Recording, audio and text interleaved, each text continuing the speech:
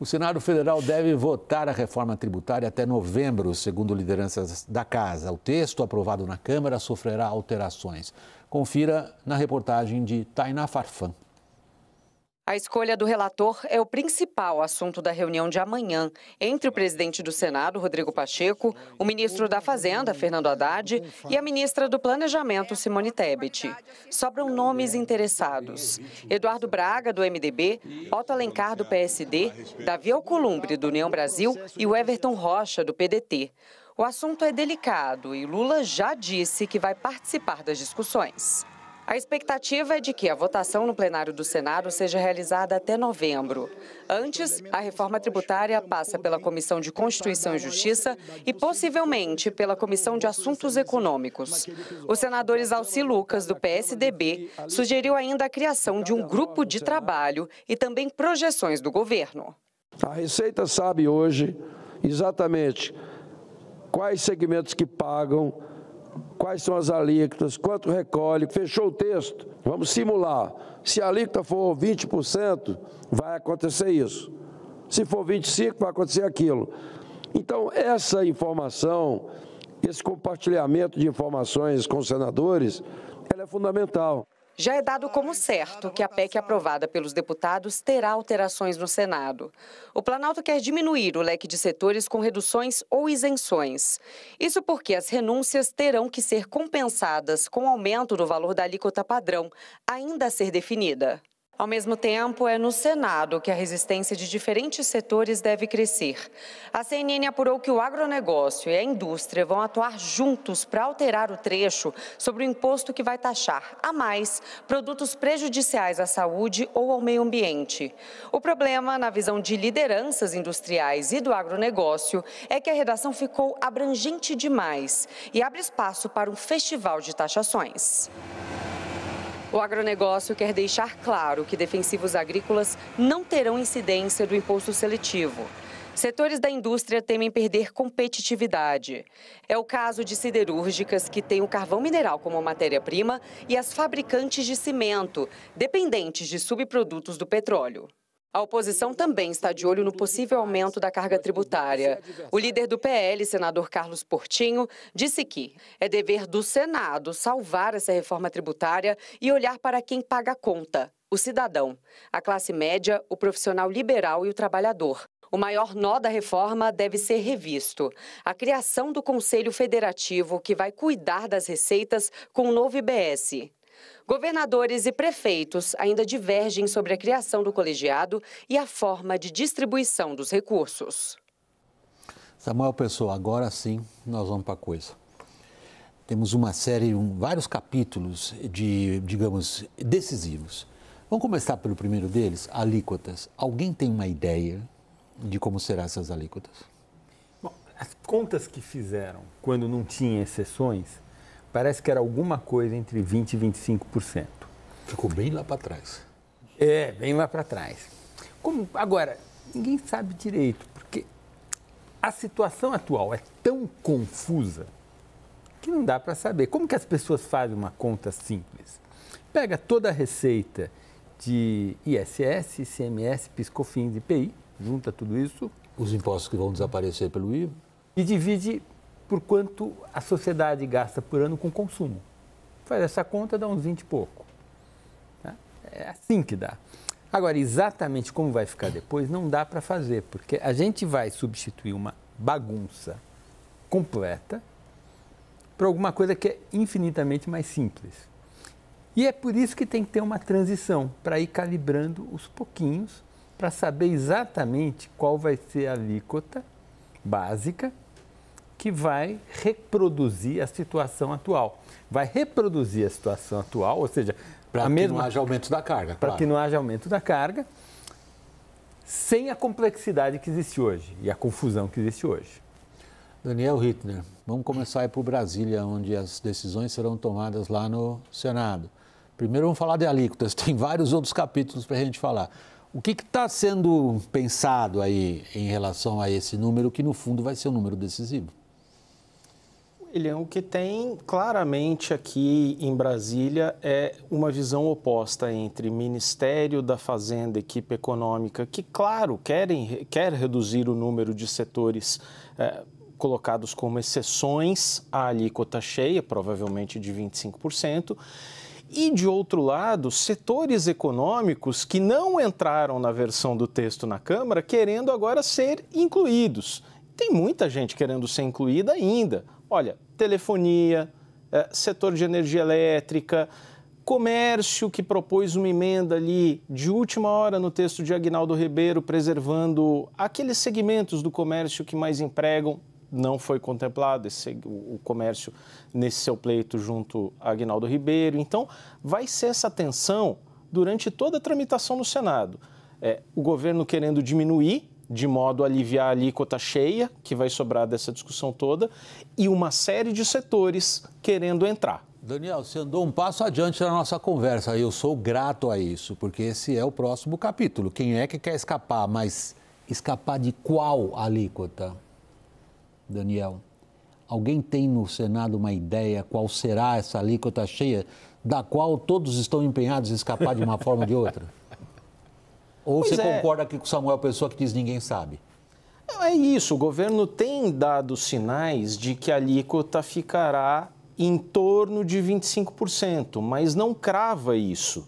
É, é... Porque tem gente falando em 34, 38, Daniel. Então, veja, tem um movimento da indústria que não é consensual da indústria e vem outro pleito na discussão ali no Senado. Tem gente na indústria, não é um movimento consensual, querendo fixar no texto é, constitucional da reforma um teto. Dizer o seguinte, falou só, daqui não passa, que seja 27, que seja 30, que seja 32, mas daqui não passa. Me lembro o absurdo de fixar o teto dos juros lá na Constituinte, lá atrás, Exatamente. na Constituição. Mas, Daniel, queria passar a palavra ao Caio. Só fazer claro, Samuel, fica à vontade, é uma negócio, roda, não espero passar a palavra. É, do, do, da, da alíquota.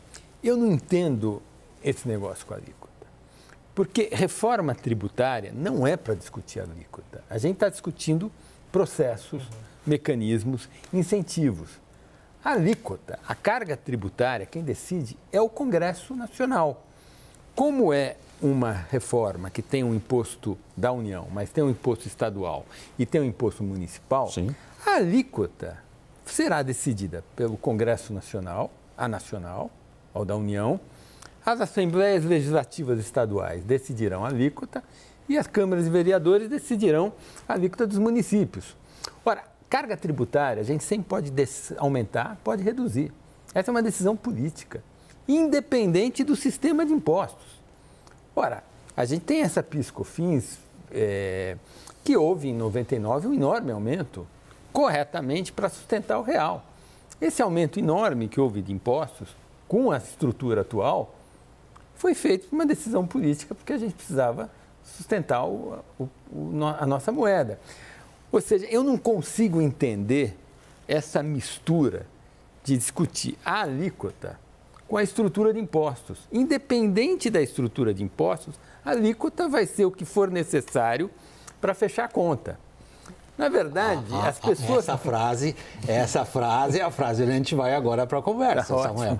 Será a necessária para fechar a conta? Qual é a necessária para fechar a conta? A gente não sabe. A gente não sabe. Não Fernanda Cagal. O que eu tenho ouvido, William, é que a gente corre o risco é, bastante é, provável, infelizmente, de o Brasil carregar uma ariva do mundo. Então, a gente tem atualmente entre as economias. É... Desculpe só a interrupção, a ah. maior do mundo no momento é 27%, exatamente na Hungria. Da Hungria, 27,5%, okay. e a gente corre o risco de ter uma alíquota superior a essa. Não, então, mas a gente já tem essa alíquota. Bom, isso é verdade, professor, isso é verdade. A gente já mas paga isso. O fato é que quanto mais meia entrada a gente tiver nessa, nessa história, Lógico. maior será o ingresso da, do ingresso cheio do cinema. E o que o Congresso tem feito para atrair é, apoio político é louvável esse esforço, de fato, mas foi oferecer uma série de meias entradas por aí. Caio Junqueira, como é que está a tratativa política? Bom, ele hoje teve muito movimento em Brasília, pelo que eu pude notar, de concreto mesmo a definição é, de um responsável para gerenciar um grupo de trabalho na Comissão de Assuntos Econômicos do Senado, será o senador Efraim Filho, que é do União Brasil da Paraíba. Conversei com ele um pouco antes de entrar aqui no estúdio. É, ele quer dividir. Ele, ele coloca muito. muita. Achei bem sensata a leitura política até. É, a Câmara ela fez uma discussão sobre tributos, sobre o sistema tributário nacional, genérica, na maior parte do tempo desse grupo de trabalho. E o texto final correu ali há uma semana e foi sendo costurado nas últimas horas, antes da aprovação. O Senado fará um debate em cima do texto, não vai ficar discutindo século dos anjos, sei lá, né? a influência das barbas do camarão. Né? O alíquota aplicada a esse caso. Exatamente. Aí, é, isso é informação de concreto hoje. Aí a gente tem que definir também é, quem será o relator. Eduardo Braga aí é muito cotado, deve participar amanhã dessa, dessa reunião. Só que é, eu, eu achei uma, uma vitória muito positiva. Assim. Ainda que o texto da Câmara tenha saído com falhas, ele saiu. Né? Ele saiu. E para isso que, vamos voltar a, a 88, para isso que o nosso sistema é bicameral. Para isso que existe uma casa revisora no Legislativo brasileiro, que não está tão. Ele entrou, o Arthur Lira, é, com a base dele ali dentro, empurrou a aprovação, que agora vai ser lapidado e aperfeiçoado. O risco é de ser piorado. Tanto que hoje também, só mais uma informação para concluir, eles estão debatendo a possibilidade de uma PEC paralela. Ou seja, aprova-se uma PEC com o que foi consenso, com o que a Câmara aprovou, e essa já vai para promulgação. E aí é, é, vislumbra-se ali onde houver a divergência, você tramita um outro texto para ser mais debatido. Isso é uma possibilidade, não é concreto também e nem é certo que ocorrerá, mas isso está no radar do senador. Deixa eu puxar essa frase dele para passá-la aqui para sua apreciação, Samuel. Pode ser piorado. Tomara que não. Mas o Daniel já estava nos levando a essa trilha, né, Daniel? Um pouco antes ali, quando eu te interrompi, quando você já elencava quais os setores que estão buscando apressadamente agora escapar da alíquota cheia, que ninguém sabe qual vai ser. Como que você está vendo essa movimentação, Samuel? Que, que tipo de temor ela causa você? Tem o temor básico, é haver uma diluição, uma piora. A gente enxergou isso, a gente viu isso na tramitação do marco fiscal. É, saiu de um jeito na Câmara, bateu no, no Senado e o Senado retirou alguns itens de gasto que estavam sob guarda-chuva do novo teto de gasto e excepcionalizou. Né? Então, houve uma diluição do ponto de vista da rigidez fiscal. Né? Então, uhum. aqui o equivalente seria chegar lá com algumas exceções, com alguns setores privilegiados e o Senado colocar mais setores. Né? Aí eu pergunto para vocês estão acompanhando a conversa em Brasília. Nessa questão, a política no Senado está apontando mais em que direção? O Senado está mais sensível do que a Câmara foi ao grupo de pressão ou não? Ele vai dar um peso maior ao interesse difuso, coletivo? Senhores assim. repórteres políticos. Não, a minha impressão, o Senado é muito sensível a questões federativas, até mais do que a questões, vamos dizer, de setor, setoriais, né? setoriais, que a Câmara é muito mais. E tem uma outra vantagem, por isso que é fantástico. Então, e talvez é, seja é, divertido agora. E por né? isso que a questão toda do direito constitucional é fantástica, é, porque uh, o processo eleitoral para se eleger senador ele é muito mais complexo e mais difícil do que para se eleger deputado. Estou dizendo isso porque senadores costumam ser mais experientes, ter o couro mais grosso para ser suscetível a pressões é, setoriais do que um deputado federal.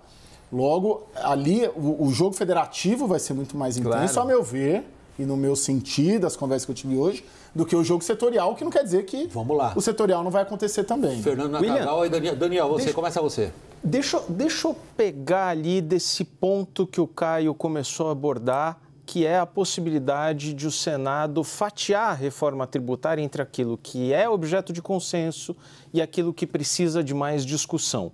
Claramente você tem no Senado inúmeros pontos que ainda causam algum tipo de fricção e que não puderam ser discutidos exaustivamente na Câmara.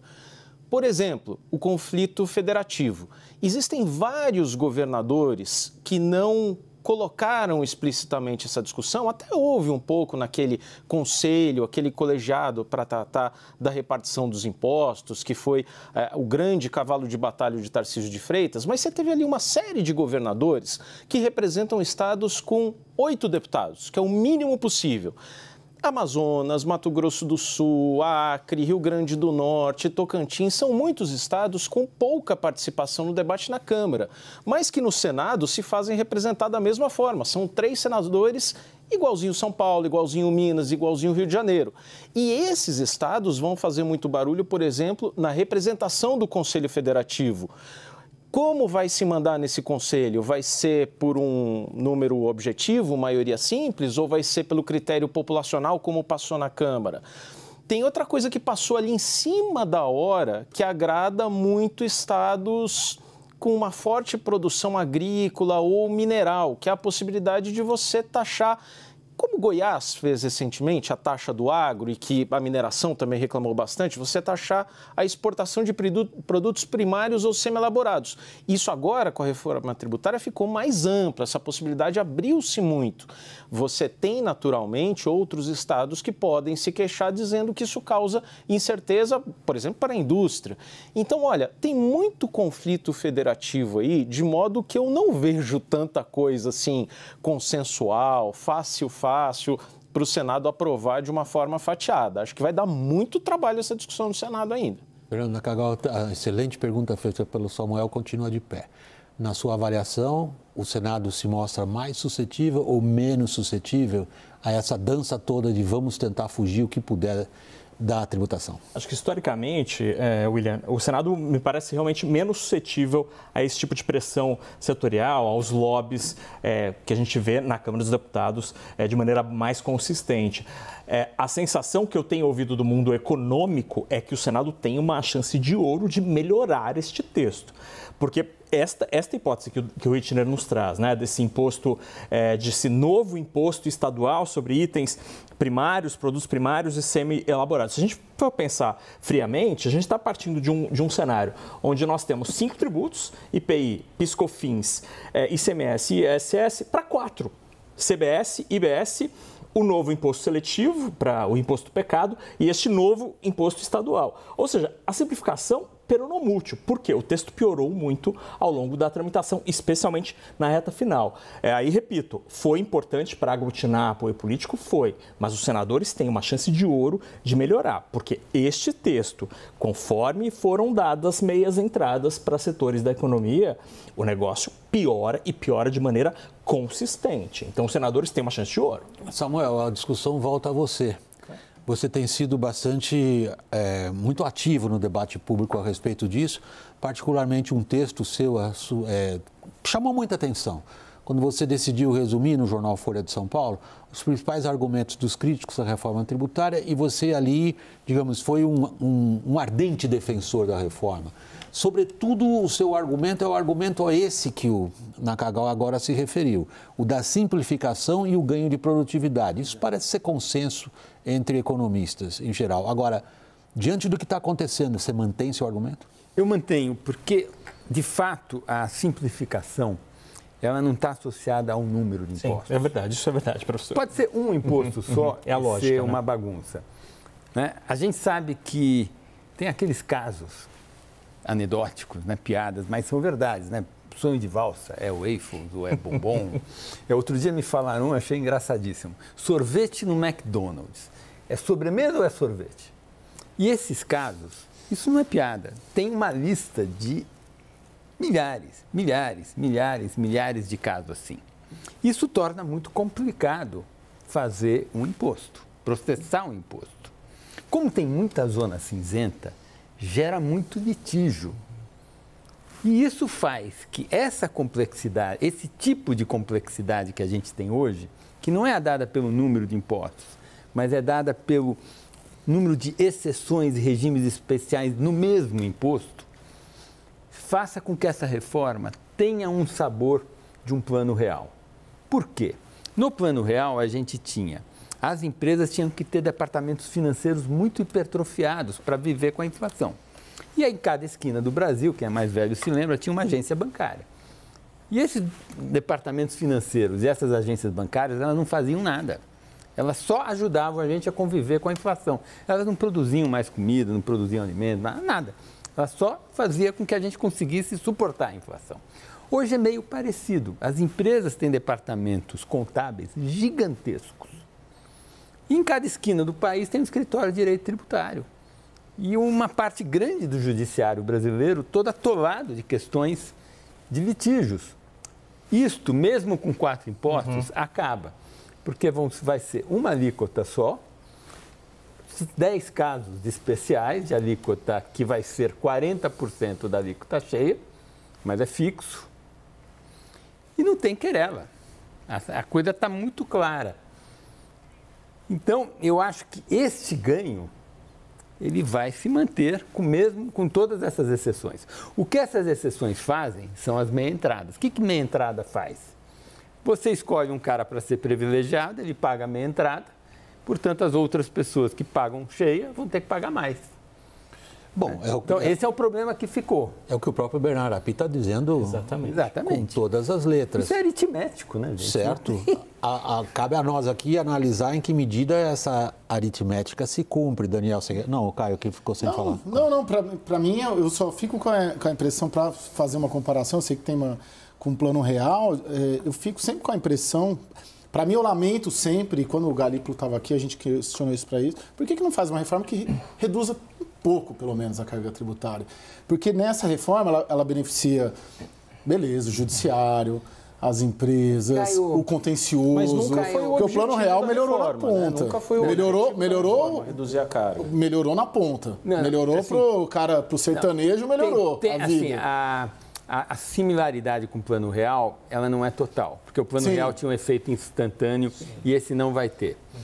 É, eu acho que tem duas similaridades. Tem essa da alocação e da eficiência a médio prazo, que é muito parecida, e tem outra, que é o seguinte: essas distorções, seja a inflação, seja a complexidade tributária, quando elas começam baixinho, você vai convivendo com ela. Não só você vai convivendo com ela, como tem setores que ganham, que se acostumam. O problema é que elas vão crescendo, elas só crescem. Chega uma hora que fica insuportável. E aí, quando esse momento chega, se cria uma coalizão na sociedade e muda. Que é isso que você registra agora. Exatamente.